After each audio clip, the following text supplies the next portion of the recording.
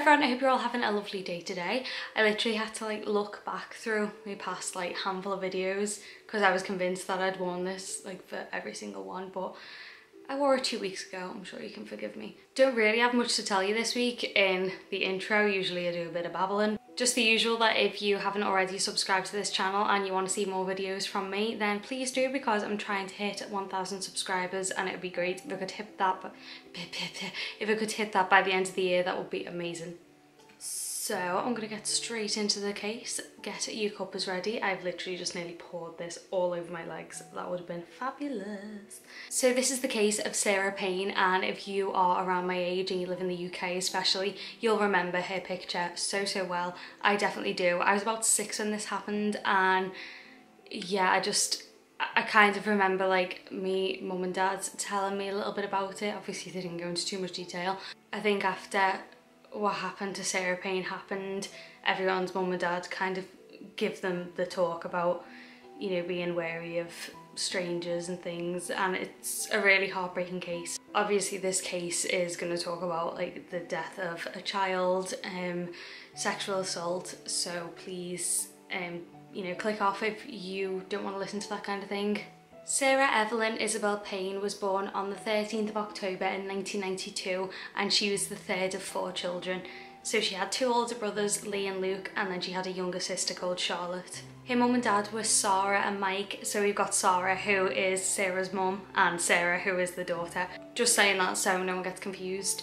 Um, yeah, there's a Sarah and there is a Sarah. Sarah described their family as a mad, messy and noisy family. She said that when they argued it was big and it was crazy, but when they were all happy and they were playing and they were laughing, it was also being crazy. So um, yeah, with four kids, you can imagine the kind of energy that that family had. Obviously they'd had two boys before, so with Sarah being the first girl, she was bought lots of, you know, pink stuff by the grandparents, lots of frilly things, and she loved it. She absolutely loved, you know, pixies, princesses. Her siblings say that she loved to dress up. She loved to sing, even though apparently she was awful. There's a few interviews with the siblings, and it's just lovely to see them talk about her and remember her like that. So on July the 1st in the year 2000, Sarah was 8 years old at this time. Her younger sister Charlotte was 6 and her two older brothers were 11 and 13 at the time. On a Saturday, Sarah, Sarah's mum, worked at a pub and she'd take Sarah and Charlotte with her. They loved playing in the big garden that was at the pub and they went with it every single week. But the boys stayed at home with Mike, who was their dad, and Mike worked nights so he was sleeping off his night shift. So he was asleep, the boys were home, and Sarah, Elizabeth and Sarah were all at the pub. As a family, they didn't really have any other plans that weekend, so they decided to go and visit Mike's parents, Les and Terry. They lived in West Sussex and they were really close to Kingston Gorse Beach. It was literally about a two minute walk away from the house.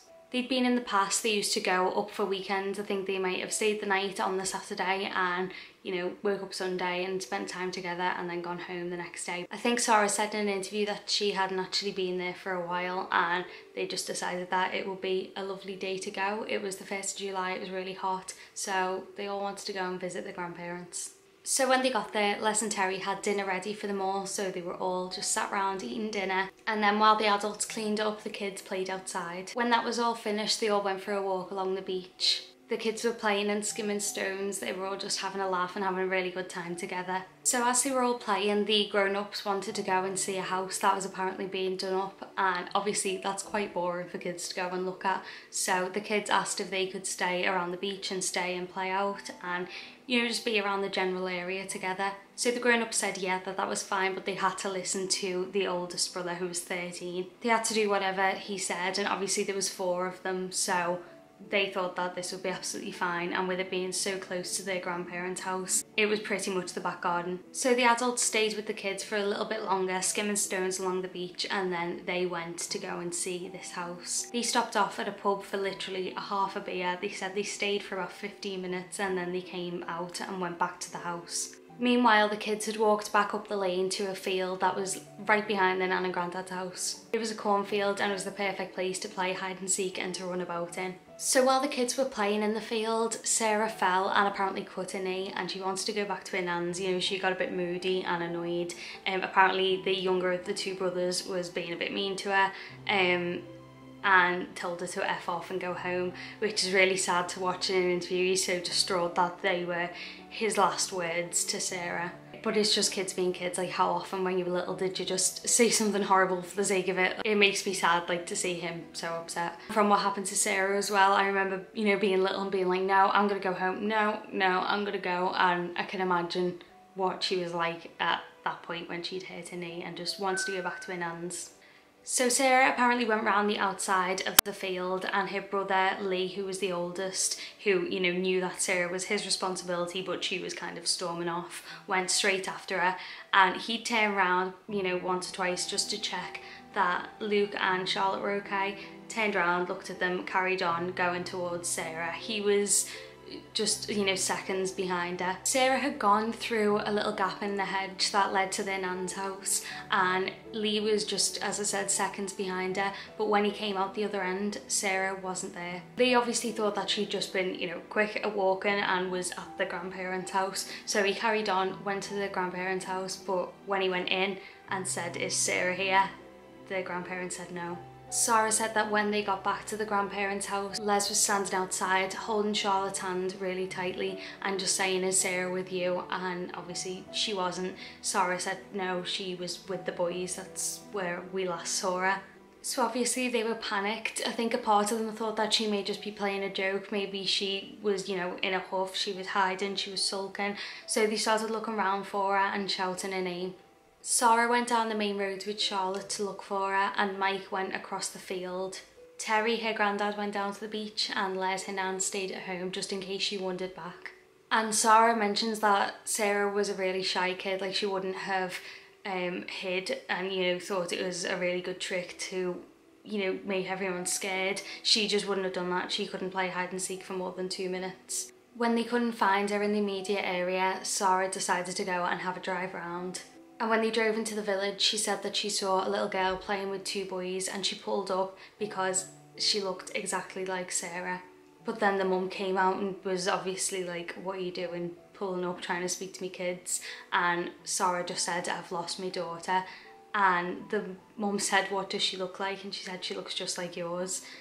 I can't imagine how heartbreaking that is for that second to have thought that she was there must have been so horrible for Sarah. As the family were passing people, they were asking if anyone had seen her, but they hadn't.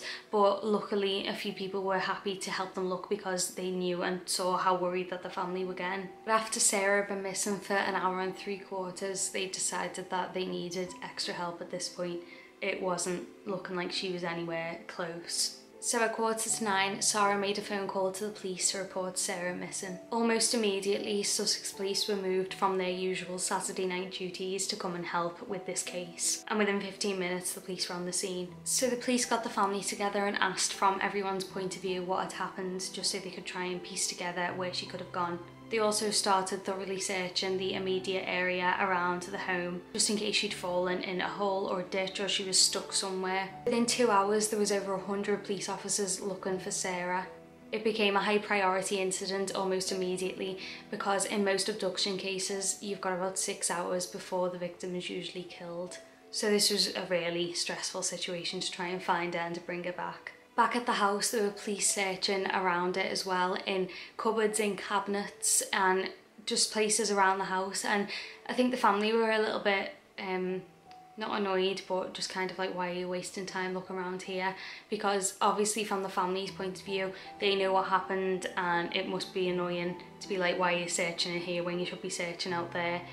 Um, the way police officer's searching outside, but obviously you know what I mean, it must be annoying to be wasting time looking inside, but from the police's point of view, they need to rule out everyone in the family and make sure that nothing horrible happened and the family are like, oh, she's missing, which obviously has happened before. But they didn't find anything in the family home and carried on their searches outdoors. At this point, Sarah's older brother Lee pulled their mum to one side and Lee was the one who was right behind Sarah when she'd gone missing and he said like mum I think uh, saw something but I don't know if it's important I don't know if it's relevant and she just said well whatever you saw you need to tell the police because they'll decide if it's important to use or not. So he spoke to police and he said that when Sarah had gone through the hedge and he was close behind he actually saw a white van go past him.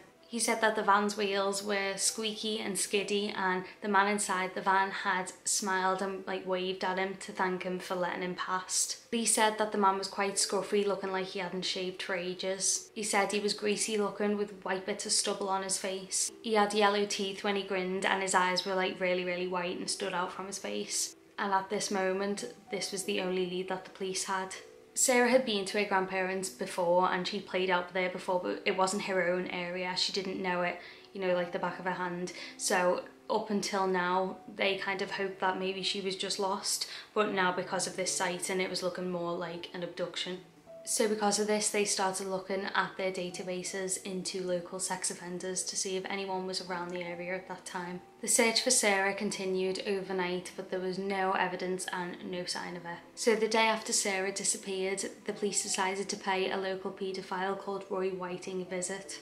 They knew that he lived close and obviously he was on the sex offenders register so they wanted to check him out and see if he had an alibi or if he knew anything about where Sarah had gone.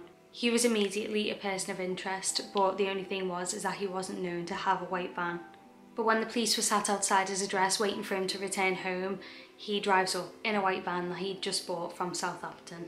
They interviewed Roy, but he said that he'd been at a fun fair miles from where Sarah was abducted. He wasn't really helpful at all, he just said that he wasn't around there at all, but his demeanour was apparently really suspicious and really worried the people who were interviewing him so they couldn't really do anything with him at this point. You know, there was no evidence to connect to him. There was nothing to say that he was in that area yet. So there was nothing they could do. They just got out and went and sat in their car. But as they spoke, they were talking about how suspicious he seemed and that they didn't like it, so they were going to keep an eye on him. And literally minutes later, Roy comes out of his house and opens the van door. When he opened it, a receipt fell out. And obviously, immediately, the officers got out the car and went and picked the receipt up and it was a receipt for petrol. It was dated the day that Sarah went missing and it placed him miles away from where he said he was at this fun fair. Roy was properly taken in for questioning but he just kept saying no comment, they couldn't get anything out of him. They were able to search his van though and they found a lot of worrying things in there. There were cable ties strung together so they made kind of handcuffs, like a restraint so that you could tie wrists or legs together. There was a condom, there was ropes, there was knives, there was baby oil, there were sweets, chocolate.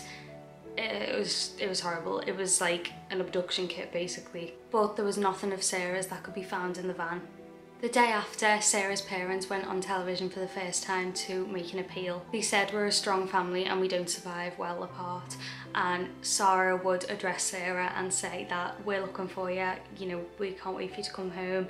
It's just really heartbreaking. But Sarah was so confident that they were going to find Sarah and it's crazy how strong she was. I don't know how she did it. I'm not a mum so I can only like half imagine the amount of heartbreak that she must have been feeling uh, it's crazy but she was just so strong through it all and then with the appeal went up the picture that I think everyone remembers of her in a school uniform.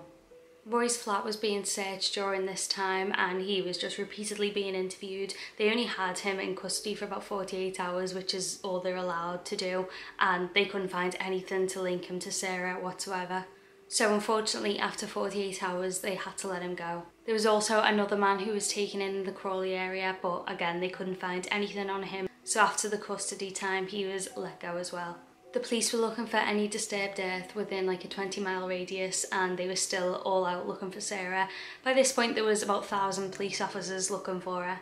They were doing underwater searches, there was helicopters, everything that you could imagine they were looking for her everywhere they could think of. They were still eliminating sex offenders at this point and the first like 10 had been done ages ago. They were up to hundreds, just eliminating them to make sure that they had nothing to do with the disappearance. Their brothers were making appeals on television as well and the media were trying to take a lot of pictures of the family and a lot of videos just to try and get people to come forward to be like, you know, this is a real family that's been pulled apart by this. Please help them come forward with any information. And there were people who came forward with information and sightings, but none of them could really be confirmed. The family liaison officer was telling Sarah to get, you know, her bag ready for Sarah for if they did find her, just to take the things straight to her and just trying to, you know, discuss the possibilities of every way she could be found. On July the 17th, just over three weeks since Sarah went missing, the family liaison officer came round to the house. Sarah was in with a couple of the kids, but Mike was out. And she said that she could tell that he was awkward and he needed to tell her something, but she just kept putting it off. She knew that it was bad news in a way just by the way he was acting, but she didn't want that news to come. She just kept trying to, you know, not make the moment come. And the story came up on the news around the same time as the family were told that a body had been found. Sarah's body was found by a farm labourer called Luke Coleman. She was near Pulborough, around 15 miles from Littlehampton. He was clearing weeds from a field that was going to be used for horses and he saw what he thought was a dead animal. He thought it was a deer. He said it was lying long ways parallel to the hedge. It didn't appear to have any hair on the head and he could tell from the smell that the body was decomposing. There's more detail online, I don't want to go into more detail than that um, just because it is really really upsetting. So she was 15 miles from where she'd gone missing but only 3 miles from where the petrol receipt was from.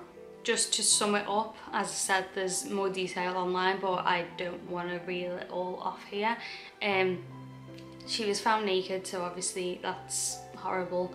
There was no evidence of sexual assault that they could see but it doesn't mean that it didn't happen and also she was found naked. Sarah's cause of death was said to be asphyxiation.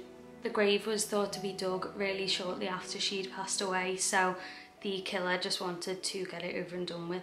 Obviously in murder cases they can never go, oh we've found a body and it's definitely this person. They have to do tests on it and have it identified and they did the test, they identified it as Sarah, but Sarah's brothers were saying, well, how do we know it's definitely her unless you go and identify it to their mum. And she really wanted to, she wanted to make sure just to be like, there's that tiny bit of hope that it's not my daughter and the tests are wrong basically and she thought that it was her kind of duty to her kids to go and make sure that it was her and she could pass that news on to the kids itself. They agreed that Mike would go and see Sarah and describe it to Sarah. Then Sarah would decide if she wanted to go and see Sarah or not but it was apparently just far too upsetting and Mike came back just um, a ghost of a man I've heard it described. So Sarah was just like, no, I don't want to see her like that. And the people who had been, you know, working with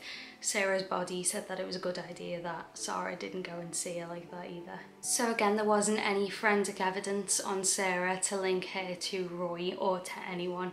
All they had was the receipt and the sighting of the man from Sarah's brother. On August the 31st, Sarah's funeral took place at St Peter's Church in Hersham, just yards from her former school which was Bear Hill Primary School. They had a brass statue honouring Sarah which was installed in 2002. So because the police were so suspicious of Roy, Roy actually went and moved back in with his dad who lived in Crawley. But there were rumours surrounding Roy because he was quite known. People knew that he was weird, that he, you know, hung around kids and they started attacking his dad's house. So Roy took himself to camp in a tent near an estate in Crawley. Roy William Whiting was born on January the 26th in 1959 in Horsham in West Sussex, but he grew up in Crawley. He was one of six kids and three unfortunately died in infancy and his mum and dad, George and Pamela, divorced when he was in his teens. He didn't have a great relationship with his parents, he didn't do great in school, and he was known as a loner or as a Billy No as they called him. As an adult, he became really interested in cars and started working at a garage. He also married a lady who was an assistant at a petrol station. They married and had a baby, but they divorced shortly after in 1986. In 1990 he was 31 and he started developing a horrible obsession with young girls. Neighbours said he'd go out and he'd linger around schools around the time that they let the kids out and he'd be driving around in his van kind of eyeing everyone up. And at 36 on March the 4th in 1995 he actually abducted a young girl. He just took her off the streets, took her to a wooded area, sexually assaulted her and then dropped her back off at home and he sold his car to avoid being caught but it was eventually tracked down. In June 1995 he got only four years for this abduction and assault of this nine year old girl Before the trial, he was assessed by a psychologist who said that this was a one-off, that he wasn't a paedophile, he wasn't going to attack again. But then he was assessed a second time and the psychiatrist said that he would probably most definitely attack again, that he was obsessed with young girls. He only served two and a half years of this sentence and by 1987 he was just out again. He moved to Littlehampton, which is a seaside town which is full of families and he was just he was just there trying to blend in carrying on as usual. And after Sarah's abduction the place where he was camping was actually right near the estate where he'd abducted the little girl in 1995 so Roy was being watched and since Sarah's body had been found he was panicking. He ended up stealing a car and driving it like the wrong way down the street bashing it into parked cars and then trying to ram a police car out the way that was chasing him. He was sentenced to 22 months for this incident but they didn't have any evidence still to connect him to Sarah's murder until Sarah's shoe was found. Police got a 999 call from a lady who said that she'd seen a shoe a few times going up and down this road and she hadn't thought anything about it but she decided that it was time to report it. Obviously you see shoes all the time being lost you know from kids and you kind of just think they've lost it or someone's taken it as a joke and like thrown it. I think she passed it for a few days and then said, you know, I better ring up about this. The police went to get the shoe, which was located near the tiny village of Coolham, less than four miles from where the body was discovered. And it was located between where Sarah's body was found and the petrol station that the receipt was from. Sarah was able to confirm that it was Sarah's shoe and it was a Velcro shoe as well and Velcro is obviously amazing for picking up any kind of fibres. They were able to find fibres from Sarah's jumper on there so they could, you know, 100% confirm that it was Sarah's. And during this time, they were also deep searching that van of Roy's. They were able to find fibres from Roy's sweatshirt in the shoe too. He had a red sweatshirt and it also had one of Sarah's hairs on it, just one single hair, and they were able to link him to the murder. Finally. Roy Whiting was formally charged with the murder of Sarah Payne. On November the 13th, Roy went on trial in Lewes Crown Court. The jury heard evidence from witnesses including Sarah's oldest brother Lee who'd seen him. Luckily, because of that one single hair, Roy was found guilty of Sarah's murder and he was sentenced to life. Only after he was found guilty were his previous convictions able to be read out in front of the jury. Before that, they had no idea that he'd abducted that nine-year-old girl all those years ago. I don't understand why. It really winds me up as you can probably tell because my voice is shaking and I'm getting annoyed um, but yeah it, that wasn't allowed in the court in case it harmed his defence. so he was jailed for life with a minimum of 50 years but he appealed and got that reduced somehow to 40 years so when he's in his 90s I can't even speak properly I'm saying 90s when he's in his 90s he will be eligible for parole. I'm just going to read this straight from the page so I get the information right. Um, I won't go too into it, but I'll leave a link to it in the description. It prompted one of the biggest changes that has happened since Sarah's death, Sarah's Law. Michael and Sarah Payne began a campaign in conjunction with News of the World for a change in the law that would give parents the right to know about local sex offenders living in the area. In 2011, 11 years after they began, Sarah's Law was rolled out across England and Wales. So if you want to read more about that, I will put it in the description below. In the aftermath of Sarah's death in 2003, Sarah and Mike unfortunately separated. Mike was said to be absolutely destroyed by her murder, he was never the same. Sarah had a stroke as well, which causes her a lot of trouble walking now. And Sarah's dad, Michael, actually died from alcohol abuse in 2014. He was just 45 years old. So that is the case. As I said, it's upsetting. I'm really angry if you can't tell. I'm like, I don't know, I get really, um, yeah, stuff like that where it just doesn't make sense. I'm like this. yeah, stuff like that where it just doesn't make sense. Like why on earth would you keep that information from a jury? I don't know, like, I, I, I get it in the terms of like your defence and like I get what they're trying to do but it shouldn't be allowed like it just winds me up so I'm going to keep this short and sweet before I kick something over. Um, I am thinking of all of Sarah's family. It's so upsetting and it's strange to have grown up with this case like kind of half knowing about it but now to fully look into it it's horrible to kind of have found out everything. Absolutely insane. Um, and I'm so sad that this one man just took it upon himself to wreck this family, to put it just in the simplest way. So thank you very much for watching. Let me know what you thought about this case down below. Please like and subscribe, all the good stuff. Click the notification bell so you know when I have uploaded. Follow me on Twitter and Instagram if you haven't already because it's lovely to have people over there as well. Thank you so much for watching and I'll see you in my next one and I promise to try and not be as angry next time.